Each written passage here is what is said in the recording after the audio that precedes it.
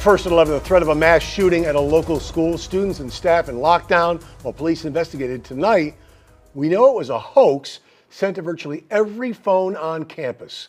Good evening. I'm Todd McDermott. And I'm Felicia Rodriguez. Thank you for joining us. It happened this afternoon at G Star High School of the Arts. Ari Hait joining us from Palm Springs tonight with more on the disturbing message.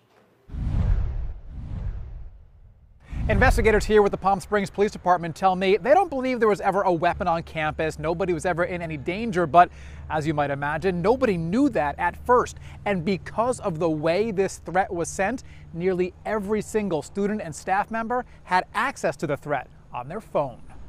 The threat a photo of a gun with the words, I've had it up to here with you.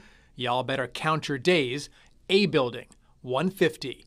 This is the photo investigators say a student at the G Star School of the Arts airdropped to the entire school Wednesday around noon. The school was immediately placed on a code yellow. Students locked down in their classrooms. Police were called.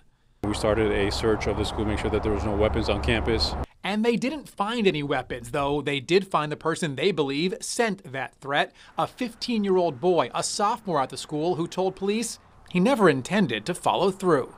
It was more of a, a, a joke type of nature. It wasn't an actual, they, they weren't doing it as a threat itself, but more as a joke. That's what the preliminary information is. A joke, but not a funny one. The teen is now in custody, charged with a felony, making terroristic threats. Whether it's taken as a joke or is made as a joke or not, uh, we're going to deploy all resources necessary to ensure that uh, there is no threat, and if there is a threat, we stop it in time. And police say this is a great example of somebody seeing something and saying something. They say the public's eyes and ears were always their best tools in these sorts of situations. In Palm Springs, Ari Hait, WPBF 25 News.